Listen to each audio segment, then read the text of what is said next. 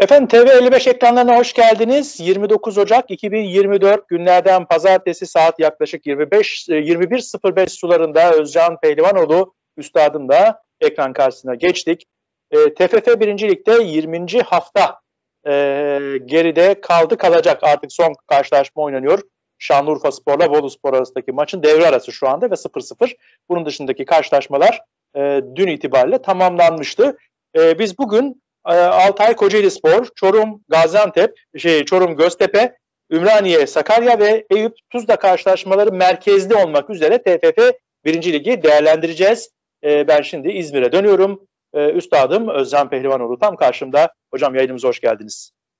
Hoş bulduk Akın Bey. İyi yayınlar diliyorum. Dünyanın neresinde olursa olsun bizi seyreden bütün seyircilerimizi de sevgiyle, saygıyla, muhabbetle selamlıyorum. E, teşekkür ediyoruz. Dünyanın pek çok yerinden bizi izliyorlar. E, yorumcularımız, e, yani izleyicilerimiz yorum yazıyorlar. E, bizi nereden izliyorlarsa yine yazsınlar. Biz de onların selamlarını memnuniyetle alıyoruz. Bizi e, izledikleri için teşekkür ediyoruz. Geçen hafta e, Buenos Aires'ten, Arjantin'in başkentinden bize selam gönderen e, bir izleyicimiz vardı. Biz de özellikle yorum yazdığı için, e, dünyanın bir ucundan bize yorum yazdığı için ona da buradan özellikle ayrı bir e, selam göndermek istiyorum. Hepsi sağ olsunlar, var olsunlar ama tabii ona bize ilgi duyup e, böyle bir yorum yaptığı için de ayrıca bir selam göndermek istedim. E, aslında Buenos Aires'teki izleyicimize ben de selam gönderiyorum ama e, tabii ki e, inanıyorum ki dünyanın pek çok yerinden bizi izliyor. Değerli izleyicilerimiz e, Almanya'dan, Avusturya'dan izleyenler olduğunu biliyorum. Hollanda'dan izleyenler olduğunu biliyorum. E, tabii ki Türkiye'nin pek, pek çok yerinden. E, izleyicilerimiz eğer e, nereden bizi izlediklerini yazarlar e, ise onların da selamlarını tek tek almaya biz talibiz efendim. Buradan belirtelim. Ve e, ben tabii e, programın ayrıntılarına geçeceğim ama küçücük bir not da ben ekleyeyim. E, zamanmekanmakinası.com sitesinden de lütfen bizi izleyin. Bizim e, ulusal medya e, ayağımız diyelim. E, o taraflara doğru da bir şeyler yapmaya çalışıyoruz. Evet, e, sevgili Özcan Pehlivanoğlu üstadım, e, ligde 20. hafta tamamlandı e, ya da tamamlanmak üzere. E, Altay istersen öyle başlayalım. Altay e, Kocaeli Spor karşısında, güçlü rakibi karşısında elinden geleni yaptı ama yine direnemedi ve e, İzmit ekibi e, kendisi açısından kritik bir deplasman galibiyeti aldı hocam. Altay Kocaeli Spor maçıyla başlamaya ne dersiniz? Şimdi Akın Bey, Altay Kocaeli Spor maçına geçmeden önce geçen hafta biz Sakarya Spor'un Gençler Birliği karşısında oynadığı e, maçı e, yorumladık biliyorsunuz. E, evet. Tabii Sakaryalı taraftarlar bize oldukça tepki göstermişler. Ben e, burada pozisyon değerlendirmeleri yapmıyorum. Bunu öğrenememişler. Yani onlar sadece kendi dünyalarından bakıyorlar e, maça ve e, biz onların istedikleri şeyleri söylemeyince bize tepki gösteriyorlar. Ben diyorum ki siz hakeme bakmadan önce bunu iyi anlasınlar. Sakarya Spor'un niye mağlup olduğunu, Sakarya Spor'un niye deplasmanda efendim o dakikaya kadar iyi top oynamış. efendim ben diyorum ki Sakarya Spor kendini e, bir e, öz eleştirisini yapması lazım. Ben bu kanalda, bu ekranda e, herhalde Sakarya Spor'u en çok savunan yorumcusuyum yorumcusuyum bu kanalı. Ve ben e, Sakaryaspor'la ilgili insanların ümit kestiği anlarda Sakaryaspor'u teşvik etmiş, takdir etmiş, Sakaryaspor'un bir yerlere gelebileceğini söylemiş, Süper Lig hak ettiğini söylemiş bir insanım yani. Ama Sakaryaspor bak bu hafta da takıldılar yani. Bu hafta da mı hakem kabahatli? Hadi geçen hafta hakem kabahatliydi. Yani bir şeyler var yani. Futbol açısından bir şeyler var.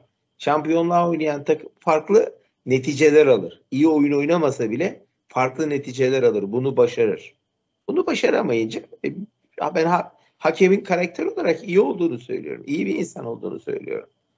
Efendim maçta hatalar yapmış. E, her hakem bir sürü maçta bir sürü hata yapıyor yani. Sen ilk önce öz eleştirini kendine yapacaksın yani. Onu yapamadığın zaman kendi dünyandan bakıyorsun. Ben kendi dünyamdan bakmamaya çalışıyorum. Objektif olmaya çalışıyorum. Buna bir şey koyalım. Yani o Sakaryalı dostlar da kızıp böyle e, bıraktık gittik takip etmiyoruz falan filan diye e, şey yapmasınlar bence yani. E, böyle tepki koymasınlar. Kendi takımlarına öz eleştiri getirsinler ya. Kendi teknik adamlarına öz eleştiri getirsinler. Takım niye bu kadar yatırıma rağmen istenilen sonuçları alamıyor, zirveyi yakalayamıyor. Bunlara düşünsünler yani. Hakeme takılıp kalmasınlar. Hakem her zaman için hata yapabilir, skora etki edebilir vesaire. Sen o skoru döndüreceksin. Sağda bir laf vardır. Hem karşı takımı yeneceksin hem hakemi yeneceksin. Bunu yapamıyorsan hatta buna hem federasyonu yeneceksin hem karşı takımın taraftarını yeneceksin. Çünkü futbolun ögeleri bunlar. Taraftar, federasyon, hakem, karşı rakip. Hepsini yeneceksin. Mesela Kayserispor bunu yapmıyor. Ben burada yorum yapıyorum. Bana tepki gösteriyorlar. Neyse bu defteri böyle bir kapatalım. Şimdi gelelim Altay Kocaeli maçına. Burada Kocaeli dostlara bir şey söylüyor. Kocaeli takımı 78. dakika gol, gol bulabildi. Bakın 78. dakika gol bulabildi. O pozisyon gol olmasa yani bu maç beraberliğe bağlanır mıydı, bağlanmaz mıydı kendileri değerlendirsinler. İkinci gol zaten maçın son saniyelerinde atılmış bir e, gol. Ben soruyorum Sakarya Kocaeli Spor'un oynadığı futboldan Ertuğrul Sağlam mutlu mu?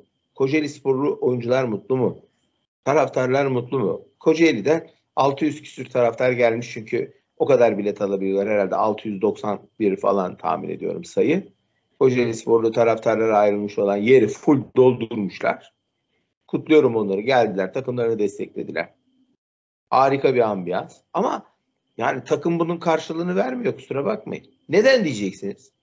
Altay takımı ilk 11'den 6 tane futbolcusu bu hafta gitmiş. Altay'dan gitmiş yani. Takım tamamen genç oyuncularla oynuyor. Ve 43 yaşındaki Murat Uluç'a kalmış o futbol oynamak. Onun da zaten lifa attı, bacağı attı. O da niye oynar anlamıyorum yani. Benim burada 500 defa söyledim, 1000 defa söyledim. Nurettin'i nihayet kulübeye aldırabildik. Sonradan da oyuna girdi. Murat Uluç'a da sesleniyorum. Ya kardeşim 43 yaşındasın. Takım zaten küme düşmüş. Bırak da gençler oynasınlar ya. Belki bir adam olurlar yani. Belki futbolcu olurlar yani. Adamlığı burada futbolculuk anlamında kullanıyorum. Artık böyle kelimeleri de cımbızla seçerek kullanıyoruz. Herkes alınıyor kardeşim yani. Ne biçim bir dünya oldu burası ben anlamıyorum yani. Yani bir lafımızın da tefekkür edilip anlaşılması lazım. Neyse onu da geçelim. Kocaeli Spor çok kötü. Bakın galip geldik. Bir önceki hafta Eyüp Spor'u yendi. Ama orada da zorlandı yenerken. Altay'ı yendi. Sıfır futbol. Hiç içi acıcı bir futbol yok. Karşında Altay var. Gençlerden oluşan sahaya çıkmış, mücadele eden bir Altay var. Kalecisi 18 yaşında. İkinci resmi müsabakasını oynuyor veya üçüncü resmi müsabakasını oynuyor. Geçtiğimiz sezon e, iki tane oynamıştı. Bir tane de bu sezon oynuyor ilk defa. Altay'ın üçüncü kalecisi o çocuk. İki kalecisi bu hafta gitmiş. Bir tanesi nereye gittiğini bilmiyorum. Diğeri e, Manisa FK'ya gitti Eren Karataş. Yani Altay takımında herkes gitmiş. Böyle sahaya zor çıkartılan bir 11 var Altay'da. Futbolcusu yok. Kalmamış. Altyapıdan çocukları alıyorlar. Ve sen bu takım karşısında 78. dakika gol buluyorsun. Ve Altaylı e, iki tane oyuncunun aralarında çarpışması, tecrübesizliği. Yani memnun mu Kocaeli Spor oynanan futboldan Kocaeli Sporlu taraftarlar veya Ertuğrul Sağlam sormak lazım yani. Ya bu takım böyle bir futbolla bir yere gidemez yani. Sura bakmasınlar yani. Altay'la oynuyorlar. Küme düşmüş bir takımla oynuyorlar. Küme düşmüş bir takım karşısında e, 78. dakika gol buluyorlar. Ben Kocaeli Spor'u hiç beğenmedim. Yani bu oyunla şampiyon olmak, lige çıkmak, ilk ikide olmak falan bana göre hayal. Ancak playoff'a kalırsınız diye düşünüyorum bu oyunla. Yani o playoff'ta da e, yani bu takımla netice almak çok zor. Yani çıkıp bu takım playoff'ta harika işler mi yapacak? Yani bizi yanıltacak. Yani hiç sezon boyu oynamadığı bir futbolu mu oynayacak? Bu da mümkün değil. Bek, yani beklentim bu açı böyle değil yani bu takım hakkında. Onun için düşünsünler. Altay'a gelince Altay için söyleyecek bir şey yok. Altay taraftarları maçtan önce tabii kulübün kuruluşunun 110. yılını kutladılar. Altay çok e, yani Altay düşmesinin ana nedeni e, kulüp kulübün iyi yönetilememez. Altay takımı bir Süper Lig'e çıktığı tarihten bu yana hatta Süper Lig'e çıktığı sezonda dahil olmak üzere iyi yönetilemiyor. İyi yönetilemediği için de 20 milyon euro civarında borç ya da 700 750 milyona yaklaşan bir borç. Yani kulüp çırpınıyor. Nasıl çıkacak bu işten? Ee, onu da şu anki tavır ve davranışlara bakarak yani taraftarların, kulüp yönetiminin, camianın tavır ve davranışlarına bakarak da bilemiyorum. Nasıl çıkar bu işten yani. Ama çok kötü yönetildiğini, kötü yönetimlerin bu duruma yol açtığını. Sadece Özgür Ekmekçioğlu'nu kastetmiyorum. Özgür Ekmekçioğlu'ndan sonra gelen Ayhan e, Dündar yönetimi de, Murat Pervane yönetimini de. Şimdiki arkadaşa bir şey söylemeyeceğim. O da genel sekreter. Çırpınıyor yani. E, büyük özverilerde bulunduğunu duyuyorum. Ama yani çok zor Altay'ın işi. Yani bundan sonra Altay'ın yaşaması çok zor. Yani bırakın işte Türk futbolunda büyük Altay olarak tarihe geçmiş 110 yıllık dev bir kulüp. Yani bana göre böyle giderse amatör kümelere gider. Amatör kümelerde de yaşar tabii büyük bir camia. Yaşamaz değil yani ama e, bu borç yüküyle bu yönetim anlayışıyla e, kurtulmak, çıkmak mümkün değil. Çünkü e, futbolda bazı şeyler birbirleriyle alakalı. Yani kardeşim sen zor duruma düşebilirsin taraftar olarak ama 15 bin kişiye gider oynarsan orada 15 bin taraftarın başarı için değil takım için, forma için, renkler için sahaya gelirlerse bu kulübe şirketleşmek zaruri zaten. Bu kulübe mutlaka bir yatırımcı talip olur. Yani 15 bin e, taraftarı olup tribüne gelen, tribünde takımını destekleyen, forma alan, kombine bilet alan, tabi buna reklam ve sponsorluk gelirleri ekleniyor.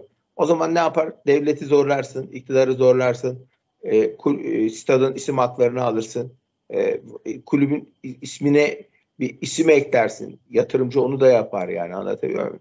Bir anda bir bakmışsın takım kulüp şahlanmış bir yerlere gidiyor. Yani herkes bir çare arıyor e, bu durumlara. Mesela Fenerbahçe'nin yaptığı kombinelerle ilgili operasyon nedeniyle Fenerbahçe'nin geçen yıl 500 milyon lira ise e, türbün gelirleri bu sene 1 milyara dayanmış. Ama yani taraftarın da bilinçli olması lazım. Kulüp yönetiminin yönetim, futbol yönetiminden çok iyi anlaması lazım. Ve camianın kenetlenmesi lazım. Yatırımcıyı bulmak, getirmek lazım. İşte Süleyman Hurma ve Karagümrük, Saraloğlu ailesi İstanbulspor gözümüzün önünde ya. Onlar başarıyorsa koskoca Büyük Altay camiası niye başaramaz?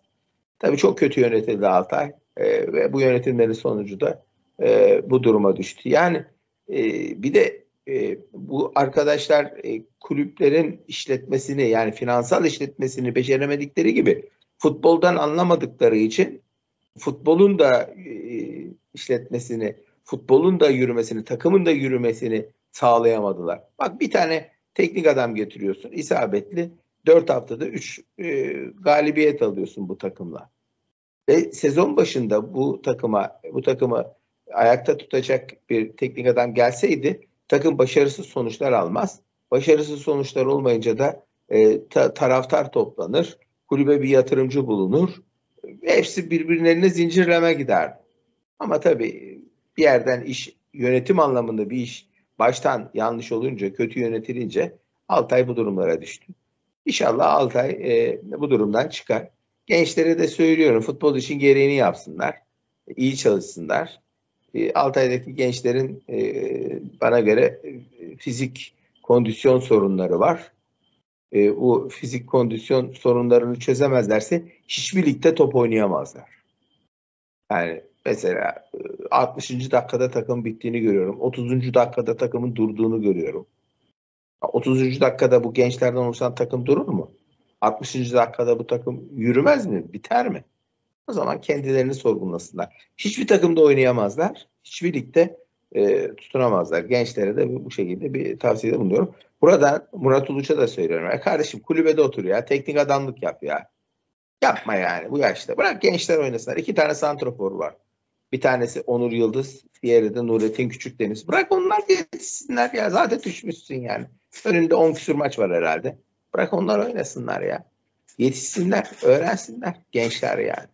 Sahaya alışsınlar. Sahada durmak bile bir önemli bir şeydir. Yani mesela bir futbolcunun sahaya çıktığı zaman en önemli e, heyecanı nerede duracağı, nerede top alacağı, nereye koşacağı. Bunları e, bir teknik adam ne kadar anlatırsa anlatsın sahada futbolcu bunları yaşayarak öğrenir. Maç maç oynayarak öğrenir. E bırak gençler oynasınlar ya. Değil mi? Yani senin oynamana gerek yok artık 43 yaşında. Bırak Altay yenilsin. Altay doğru düzgün hücum edemesin. Bırak Altay top tutamasın. Ama e, sahada e, oynayıp da e, bir takımı bir kişi eksik oynatıp da gençlerin yetişmesine engel olmak da doğru değil yani. Murat Uluç'a sesleniyor. Tabii kulüp başkanlarının falan bunu diyecek hali yok. Müdahale edecek hali yok. Bana göre futboldan pek anlamıyorlar yani. Futboldan anlasalar bugüne kadar müdahale ederler zaten. Diyeceksin ki futboldan tek sen mi anlıyorsun? Ben Altay'ı çok dikkatli izliyorum. Altay'ı çok dikkatli izlediğim için Altay'ın en ince kılcal damarlarına kadar ne olduğunu ne bittiğini az çok biliyorum. Kimin ne, neden ne kadar ne anlayabildiğini de e, görüyorum. O, onun için bu lafları söylemeyi de bir Altay taraftarı olarak kendime hak görüyorum.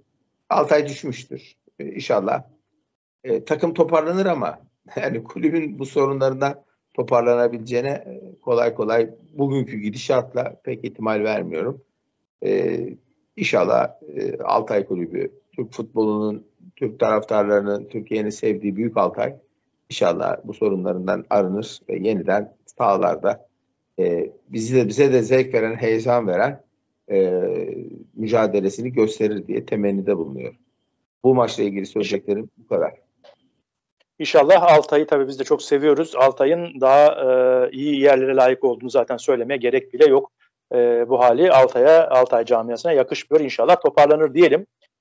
Ve hocam e, Sakarya Spor'la biraz başlamıştık zaten. Oradan devam edelim isterseniz. E, Sakarya Spor tıpkı sizin e, söylediğiniz gibi e, zorlanarak gidiyor. E, ligin orta halli takımlarından birisi olan Ümraniye Spor karşısında 25. dakikada 1-0 yenik duruma e, düştü maçı çevirmek için çok uğraştılar. 89'da nasip oldu. Çevirdiler Dimitrov'un golüyle. 1-1 oldu ve Sakaryaspor Ümraniye deplasmanından bir puanla döndü ama hani e, bu bir puan e, Sakaryaspor'u ancak playoff e, yarışında şey halde tutuyor. Yani e, yarışın içinde tutuyor. E, zirveye doğru bir adım e, niteliği taşımıyor. E, Sakaryaspor e, bir türlü e, son haftalarda e, yani daha doğrusu ligin ikinci devresinden itibaren taraftarlarını e, tatmin edecek bir oyun ortaya koymuyor, skorlar elde edemiyor. E, Ümraniye Spor karşılaşmasından beraberlik çerçevesinde Sakarya Spor'daki gelişmeleri değerlendirelim hocam. Yani tabii ben Sakarya Spor'un iyi olmasını istiyorum. Sakarya Spor'un iyi bir takımı var.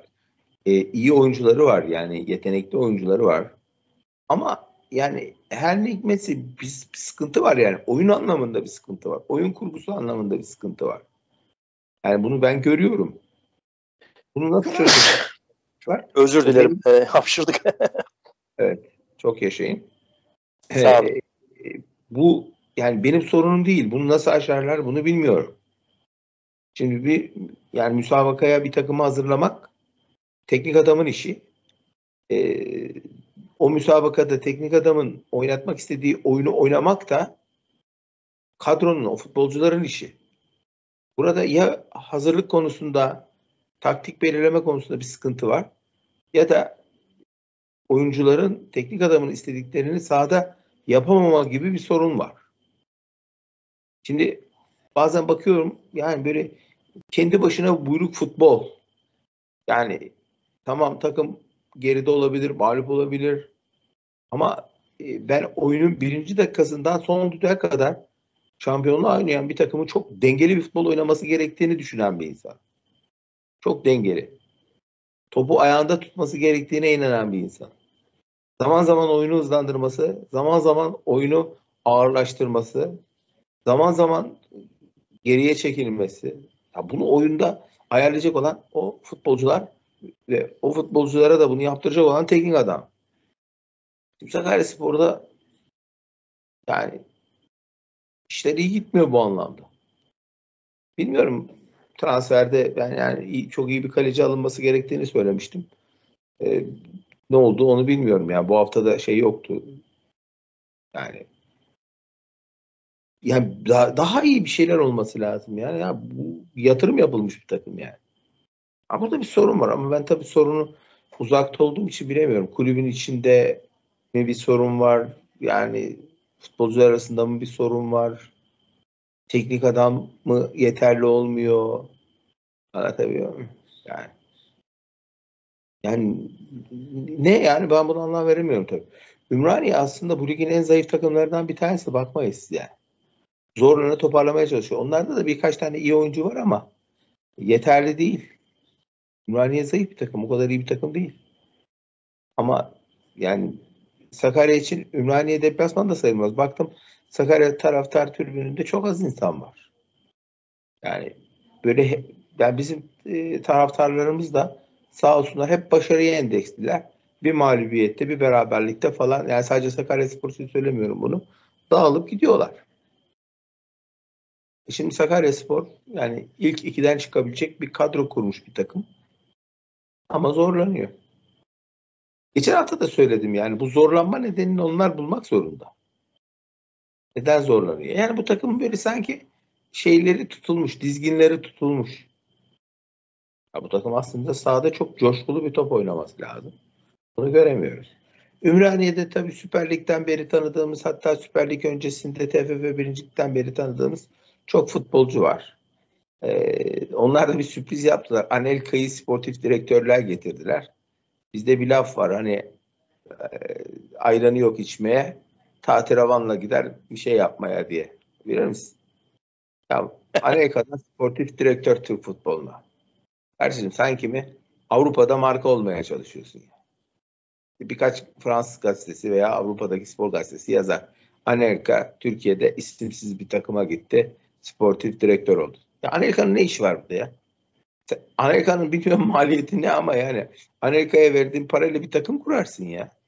Ben anlamadım, çözemedim bu işleri yani.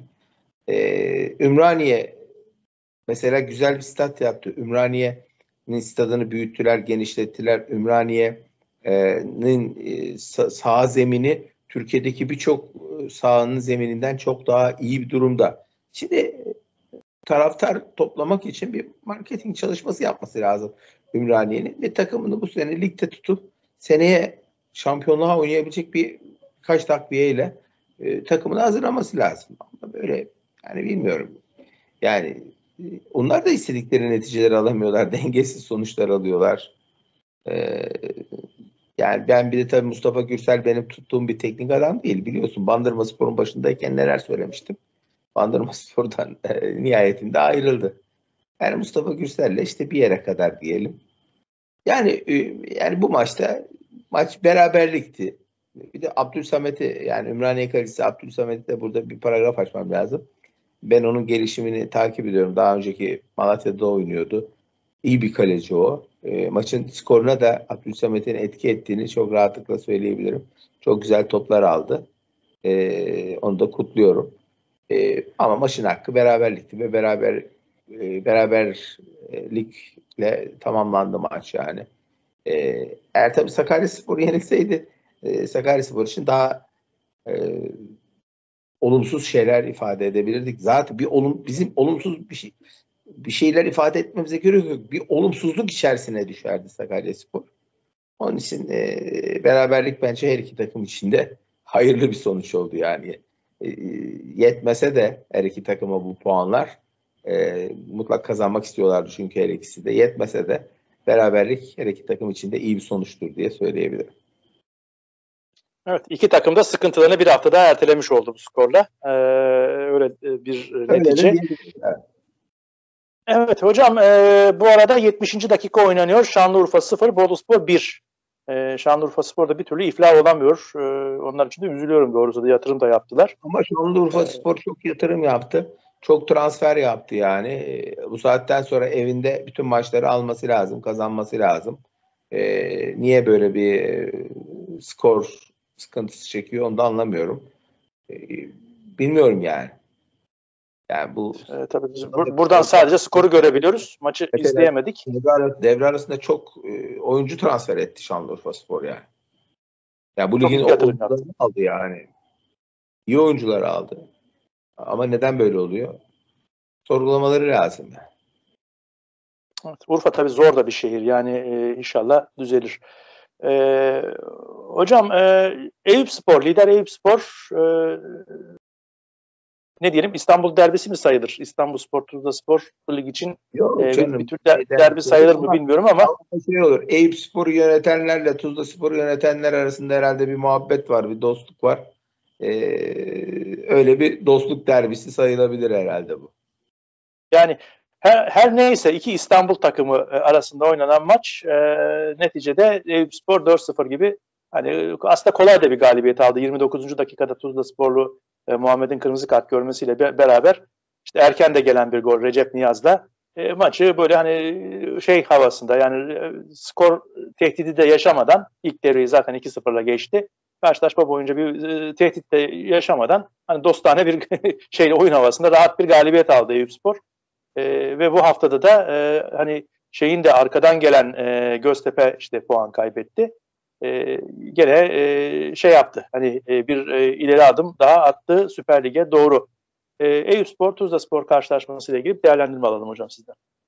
Valla Eyüp tabii yani ben biliyorsun geçen sene Real Madrid diyordum e, bu ligin. Bu sene de Fenerbahçe'si diyorum. Yani Eyüp takımı ne transfere doyuyor. Yani kadro genişliği müthiş. Çok iyi oyuncular var. Şimdi Turam'ı aldı. Ya Turam geçen hafta Beşiktaş'a bir gol attı. bu hafta da Tuzla'ya gollerini attı. Yani Eyüp takımı müthiş bir takım yani. Bu ligin üzerinde bir takım yani. Yani çok e, şey oyuncular var, kariyerli oyuncular var. İstim üzerinde bir takım. Yenemeyeceği bir takım yok. Yani e, Tuzla Spor'da bunlardan biri. Bir de tabii senin dediğin gibi 10 kişi kalınca takım ki hakem orada haklı olarak oyundan attı. Yani e, Recep Niyaz'ı herhalde e, ne diyorlar? Kings, King Box mu diyorlar yani. King Box gibi bir e, vuruşla yere indirdi yani gerçekten. E, hakemin direkt kırmızı kartı kendi göstermesi gerekirken VAR tarafından uyarılmasını da bir şey olarak görüyorum. Yani saçmalık olarak görüyorum. Yani Eyüp böyle giderse tabii rahatlıkla Süper Lig'i e, haftalar öncesinden şampiyon olarak kapatır diye e, Süper Lig'i kazanır, Süper Lig'e çıkar diye düşünüyorum. TBB birinci ligi e, birincilikte bitirir diye düşünüyorum. Çünkü ne yaptığını bilen, sahada ne oynadığını bilen e, çok kaliteli bir takım var. Yani bu oyuncularla baş etmek çok zor. Ben Eyüp'ü burada İzmir'de Altay'a 7 gol attıkları 7-1 biten maçta seyretmiştim. Yani e, bir de şimdi çok enteresan. Eyüp takımında oynayanlara bakıyoruz. Bir de oynamayanlar var. Hatta kulübede bile olmayanlar var. Cezalı ve sakat olanlar var. Müthiş bir kadro derinliği var. Yani Arda Turan'ın kullanabileceği çok kariyerli sahada ne yaptığını bilen, taktik disipline bağlı kalan, yani nereye koşacağını, topu nereye atılacağını Eyüp'ü zevkle seyrediyorsunuz bu açıdan yani. Bu ligin üzerinde bir takım. 4-0'da zaten çok net bir skor. Direnemedi Tuzla Spor yani. Bazen 10 kişi kalan takımlar direniyorlar ama Tuzla Spor direnemedi. E, Eyüp Eyüp'ün e, yani yapması gereken doğrudan doğruya rakibi olan takımları yenmek zorunda. Ama mesela Kocaeli Spor'a yenildi. Yani doğrudan doğruya rakibi olan takımları yenmek zorunda Eyüp. Eğer onları yenerse veya o 6 puanlık maçlarda beraberlik alırsa e, o, o zaman bir şey yok yani. E, problem yok yani o maçlarda. Beraberlik bile alsa 6 puanlık maçlarda doğrudan rakibi olan takımlarla beraber bile karşısında yeter. Yeter ki yenilmesin. Tabii bu 3 puanlı e, ligde neler olacağını önceden kestirmek mümkün değil. Ancak yani bir strateji oluşturacaksınız. Doğrudan doğruya kendi rakibiniz olan yani Tuzla Spor gibi takımları yeniyorsunuz zaten yeneceksiniz. Zaten yeniyorsunuz bir de yani onları. Onları yeneceksiniz. Mesele yok. Ee, ama Göztepe gibi, Kocaeli gibi, Sakarya gibi, Bandırma gibi böyle bir sürü takım sayabiliriz işte. Bodrum gibi. Mesela geçen sene biliyorsun playoff'ta Bodrum e, Eyüp'ü eledi. Yani bu tip takımlara karşı 6 puanlık maçlarda yenemiyorsan en azından yenilmeyeceksin. Eyüp de stratejisini buna tutmak zorunda. E, Eyüp maçlarında güzel goller oluyor. Oyuncular güzel hareketler yapıyorlar. Atakları, pasları, e, topu kanatlara taşımaları, geriden beklerin bindirmeleri e, zevk veriyor izleyenlere. Ben Eyüp'ü seyrederken zevk alıyorum. E, güçlü takım. e, bu skorlarda çok doğal Eyüp açısından. Tuzla Spor tabi ligden düşen üçüncü takım olmamak için. Giresun ve Altay düştü. E, Tuzla Spor'da ligden düşen üçüncü takım olmamak için. E, bu tip maçlardan puan almaya bakacak. E, o da alamadığı zaman düşme korkusunu son haftaya kadar hissedecek diye düşünüyorum. Tuzla Spor düşme potasında olan e, takımlardan bir tanesi bu ligde. Evet, Allah kolaylık versin diyelim. Hocam e, bugün konuşacağımız son karşılaşma da aslında bir 6 puanlık maçtı. Çorum Spor'la e, Göztepe arasındaki karşılaşma 6 puanlık maç. E, iki takımın birer puanı paylaşmasıyla neticelendi.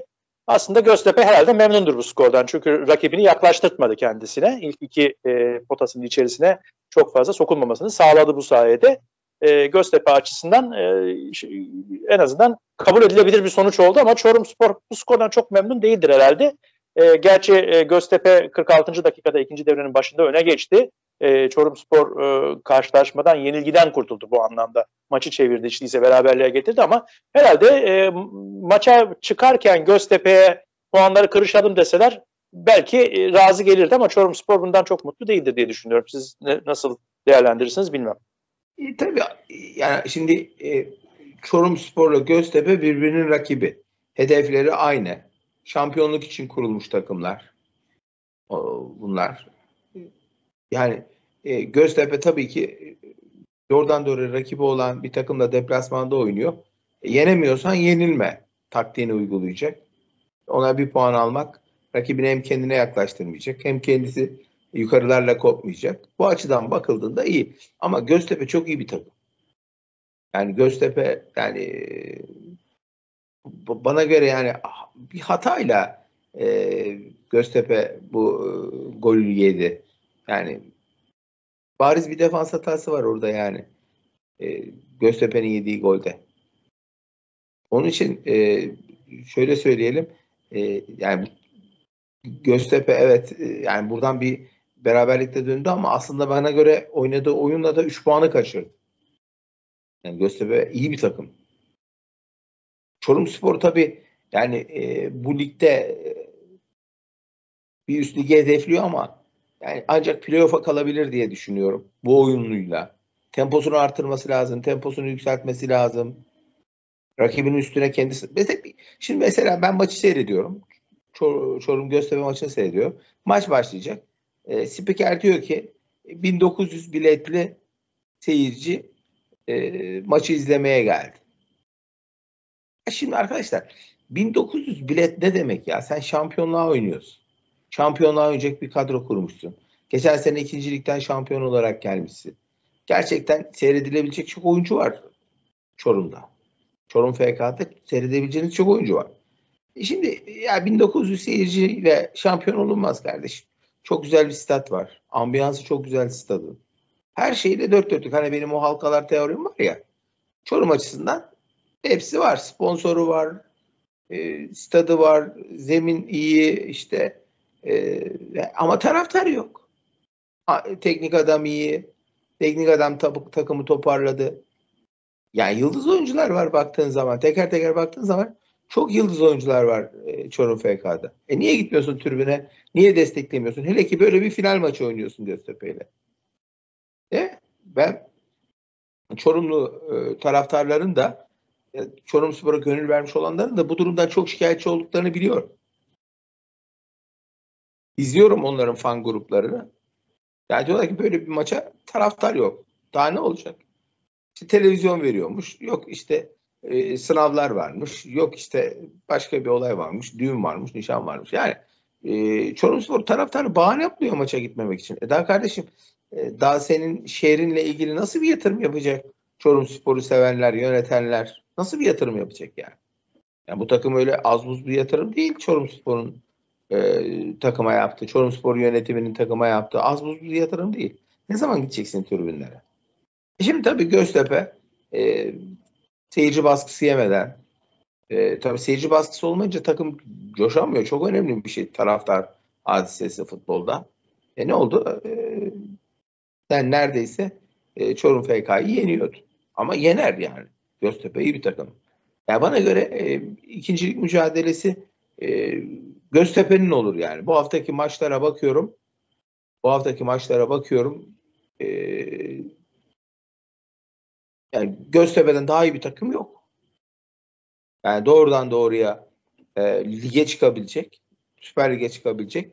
E, birinci sıra Eyüp'ün ise ikinci sırada e, Göztepe'nin diye rahatlıkla söylüyorum. Oynanan oyuna, futbola, mücadeleye bakarak söylüyorum. Takım kalitesine bakarak söylüyorum. Şimdi takımınız kaliteli bile olsa e, ona göre oyun oynamak zorundasınız. Yani o kaliteli takımın e, bir üst lige çıkacak oyunu sahada ortaya koyması lazım. Göztepe'de bunu görüyorum ama diğer takımlarda bunu göremiyorum. E, bu açıdan bakıldığında Göztepe bence 2 puan kaybetti diye düşünüyorum. Çünkü Çorumspor teknik adamı bence yani Serkan Özbalta bu maça mantalite olarak hazırmış.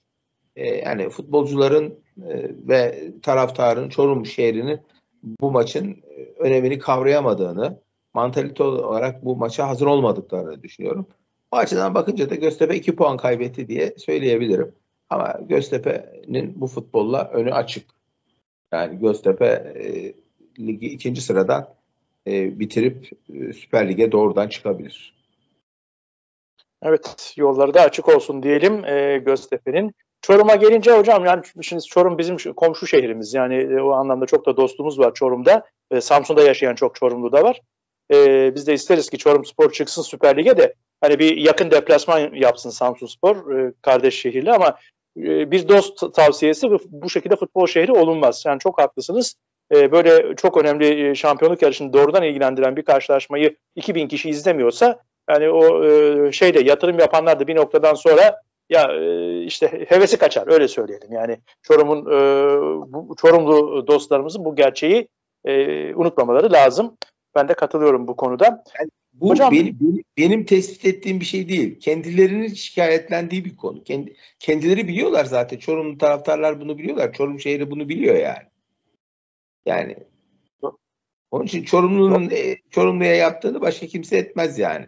Onun için Çorum Spor'a sahip çıksınlar diyelim yani. Evet, e, lütfen takımınıza sahip çıkın değerli Çorumlu e, dostlar diyelim. Hocam e, 83. dakika Şanlıurfa 0 Bolu 1 geçildi. 21. haftada Cuma günü başlıyor. Sakarya Bandırma karşılaşmasıyla başlayacak. E, işte Göztepe Altay e, İzmir derbisi var. E, işte Kocaeli Spor Adana Spor'u misafir ediyor e, bu hafta. E, Gençler Birliği Çorum karşılaşması önemli bir maç. E, Eyüp Spor'da deplasmanda Giresunspor karşısında çıkacak ve puan kaybetmemeye çalışacak. E, böyle bir e, hafta e, bizi bekliyor. E, bakalım neler yaşanacak. Bu arada e, ta, e, izleyicilerimize küçük de bir müjde verelim. Özcan Purda ile ben görüştüm. E, diş e, sağlığı nedeniyle bizden e, 15 günlüğüne izin istemişti ama sahalara daha erken dönecek. E, yarın akşam Allah nasip ederse Özcan Purda ile tekrar e, video çekmeye başlayacağız. Onları da kanalımızda yayınlamaya başlayacağız. Kendisine bir kez daha geçmiş olsun diyelim. Hocam var mı ilave edeceğiniz bir şey? Yani, bütün takımlara başarılar diliyorum. Ee, ama yani böyle bizim dediğimiz bütün hususlar e, TFF birinci ligde tahakkuk ediyor. O yüzden de işin böyle şeyi kaçıyor. Zevki kaçıyor. Yani böyle gerçek manada bir mücadele yok takımlar arasında. Takımlar çok dengesiz. İnanılmaz dengesiz sonuçlar alıyorlar. İnanılmaz e, bir hafta farklı, diğer hafta farklı futbol oynuyorlar. E, tabii bunları e, nedenlerini bulmak, ortaya çıkarmak ve sorunları çözmek teknik adamların işi. Eğer kulüp yönetimlerinde ilgilendiren tarafı varsa kulüp yönetimlerinin de bu sorunların çözümüne katkı sağlaması lazım. Ee, yoksa yani isteksiz ve zevksiz birlik. Bak ne dedim Kocaeli Spor bu hafta yani bir düşünsünler oturup ya. Ya bu takım yani şampiyon olabilir mi ya? Yani Kocaeli Spor'un hali bu. E, bir önceki hafta ev yeniyorsun o zorlu şartlarda yağmur altında büyük bir mücadele veriyorsun. Bu hafta Altay'a karşı tel tel dökülüyorsun. Altay'a burada 4-5 atman lazım. Hem de maçın başında atman lazım yani. Çok rahat atman lazım. E sen Altay'a karşı futbol oynayamıyorsan, Altay'a karşı istediğin sonucu 78. dakikada sıkını alıyorsan seni şampiyonundan nasıl bahsedebilirim? Keza e, Sakaryaspor 90. dakika e, şeyi kurtarıyorsa, beraberliği kurtarıyorsa e, Bandırma zaten birçok sorun yaşıyor. Yani Giresun'a karşı aldığı galibiyet önemli değil. Hüseyin Eroğlu'nu getirdiler. Ya istersen Mourinho'yu getir. Yani olmaz Bandırma'da bu işler yani. Bunları çözeceksiniz yani. Bizim o konuştuğumuz hususları çözeceksiniz. E, bunları çözerseniz biz de güzel bir lig izleriz. Niye hep örnek veriyorum? İşte yani iyi örnek vereceksiniz. Hani bize mukayeseyi öğretmiyorlar diye hep anlattım ya bu programlarda. E, benim e, bu lige baz aldığım, mukayese ettiğim ölçü örnek Bundesliga 2. Bundesliga 2 seviyesini bulursak, İngiltere'de Championship seviyesini bulursak o zaman bu ligdeki futbolla ilgili olarak, bu, bu ligdeki maçlarla ilgili olarak o neler konuşuruz yani. Diyelim seyircilerimizi de düşünmeye bu şekilde davet etmiş olalım.